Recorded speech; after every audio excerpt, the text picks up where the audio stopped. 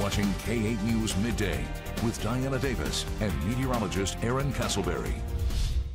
Oh, they are so good. Sylamore Special is an energetic five-piece bluegrass band based out of Mountain View.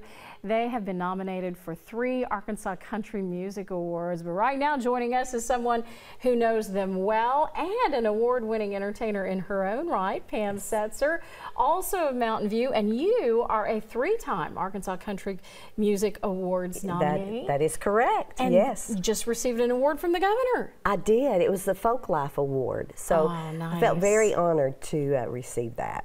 Well, let's talk about this event, which is huge coming up next weekend, right? That's right. It's coming up. It's the 19th and 20th. It'll be this Friday, Saturday, and uh, it's Arkansas Folk Festival, uh, which will have music on the square Friday and Saturday and but we also have the next generation concert on Saturday night at the Ozark Folk Center. Oh, and I will say there's a parade at 10 on oh, Saturday. So uh, lot, there'll be a lot of music going on in the parade and a lot of vendors. The Ozark Folk Center will be open. Uh, we have a lot of great shops around the square and different things, but we do have this next generation concert on Saturday night. And there's a lot of people involved with that, including this group right here, the Ozark Granny Chicks. That's it, yes, the Ozark Granny Chicks, which we have a fifth mem member, Tara Ellis, who is not in this picture, but we laugh because we've all played in, in different bands, some together, uh, but this is a band that we're all together. Of course, it's all women. And we talk about Lily Ann because, you know, she's young. She is not a granny. we call her our little chickadee. Aww. So, anyway, it's a great group. and so much fun. So much fun. How can we get tickets for the weekend, for the, the concert, I guess? Do you need tickets for some of the things? Well, I don't know. For the things around the square, they're all free okay. and music during the day, and there'll, there'll be music there at night.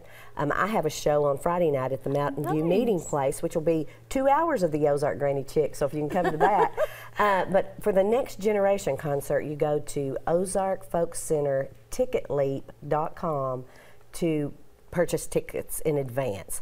You can buy them at the door, it's general admission, uh, but you know, we're, we're hoping to fill it up because all the proceeds go to uh, support the Music Roots program. Oh, nice. Which is in our county schools. And that is where uh, the committee, the committee rather, of 100, which you're a part of. Yes, ma'am. Trying to preserve this tradition. Right. We provide instructors and and they have an instrument. All of those are provided free and they go into their classroom. They start in fourth grade, and then the fifth and sixth grade move over to the Ozark Folk Center to have theirs. And um, but it's all free to them, and a lot of of the young bands have come out of that program. And you, we can't have you here with your dulcimer without hearing yes. some good old mountain there. music. Yes. Can you play us into the I'd break? I'd love to, yes.